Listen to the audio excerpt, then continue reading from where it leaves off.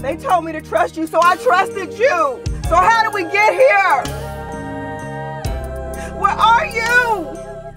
Won't you come close to me now? Now.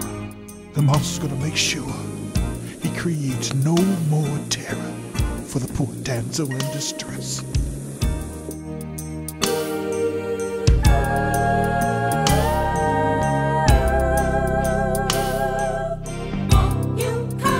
You come me? Hey, it. Hey, all right, stop.